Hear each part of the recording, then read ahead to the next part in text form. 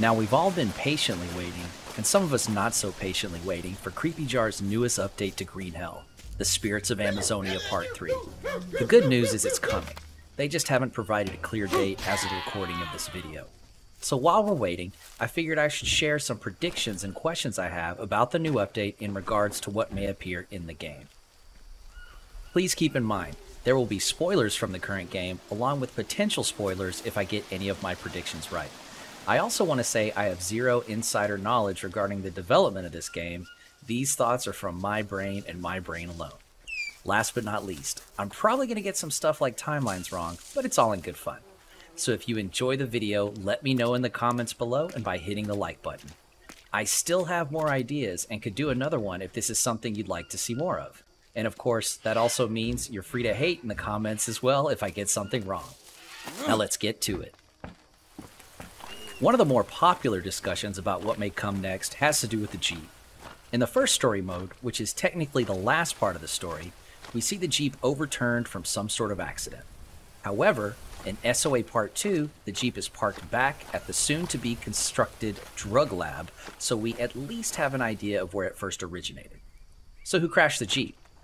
It comes down to one simple item the metal bidon. In the first story, we find the bidon in the crash Jeep. In SOA Part 2, we also find it in the parked Jeep at the drug lab. So, how could it still be in the crash Jeep if we already took it from the parked Jeep? Well, Either Jake gave the metal bidon to someone else and they crashed the Jeep, or someone stole it from him and crashed the Jeep. But the most obvious answer is that Jake crashes the Jeep and he's had the bidon the whole time between the events of Spirits of Amazonia Part 2 and then the original story mode.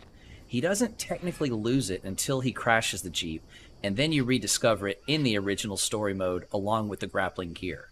So I feel pretty confident with this prediction because there's some hard evidence for continuity with the guests.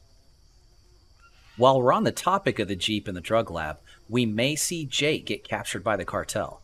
This is evidence in the notes found in the cave with a sleeping bag, where they mention capturing someone that, well, let's just say, matches Jake's description. So, considering this, I think Jake more than likely escapes using the Jeep and ends up crashing it while trying to escape. However, it's possible the capture may either occur in a cinematic or off camera, maybe even in the opening cinematic trailer after he uses the walkie on the boat from Spirits of Amazonia Part 1. And what about the gold mine? It's absent from Spirits of Amazonia Part 2, which makes sense, because the lab is still being built. If we get to see some version of the gold mine, I imagine one of the quest lines we will need to complete will be to save captured natives that are being experimented on by the same group that's putting the lab together. You can see evidence of this in some of the notes around the gold mine in the original story mode. Next, it's probably safe to assume that we'll be traversing to Anaconda Island again. Looking at the new map of the old area for Spirits of Amazonia Part 2, it seems like that's a natural progression of the story. So, how different will the area look?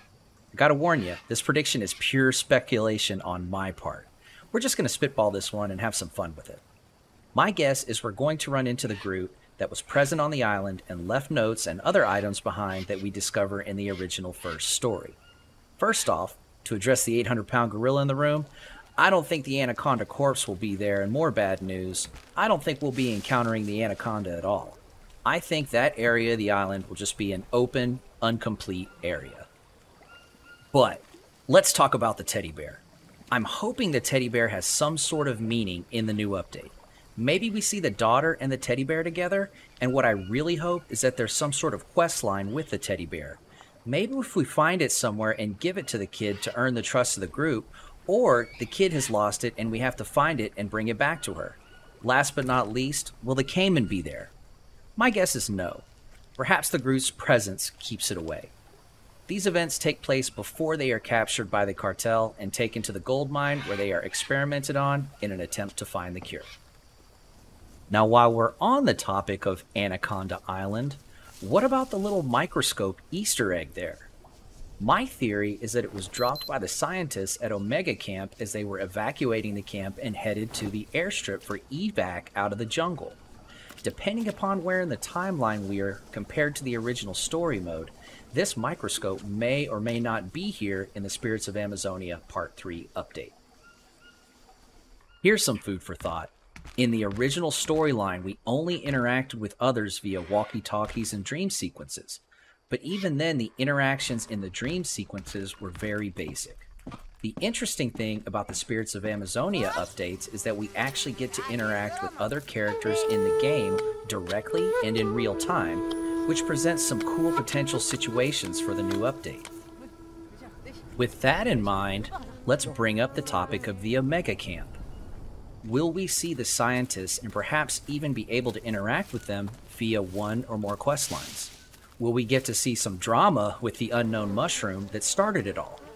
Or maybe even some interaction with the scientists and gaining the trust of the nearby tribe at the large village west of Omega Camp.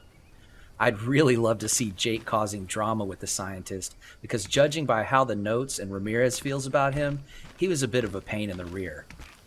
Or who knows, maybe we see it after it's abandoned and the staff has already hightailed it to the airfield and gotten the heck out of the jungle to quarantine themselves for a year, like their communications imply. But I do prefer the idea of them being there and or at least in the process of setting the Omega camp up. And what about the big tribal village? You know, I don't know. If the flashbacks and dream sequences are any indication, we might see a huge party going on there. If it was abandoned, it would be a huge subversion of our expectations, considering the other abandoned camp was in fact not abandoned in Update 2. But will we see Mia there, like we saw in the dream sequence? While it would be really cool, my gut is telling me no. I think at this point of the game, she is probably out of the jungle and is awaiting Jake's return. But who knows? I've been wrong before. a lot, as a matter of fact. Now, there's one more thing I want to mention, and this is more of me begging Creepy Jar and not so much of a prediction. Please include blowguns and blow darts in the game, or at least poison arrows. Let us use those frog stretchers that have been in the data file since the development of the original game, and maybe the stingray barbs as the darts. This may be our last chance. If they do include them, does that mean that the natives will be immune to them, since the notes in the tutorial tent indicate they practice getting their kids immunity from the poison in the frogs at an early age? Just some food for thoughts. With those blowguns out of the way, thank you so much for watching. I hope you enjoyed it. And if you did enjoy the video, please consider subscribing and watching one of my other videos. Thanks again.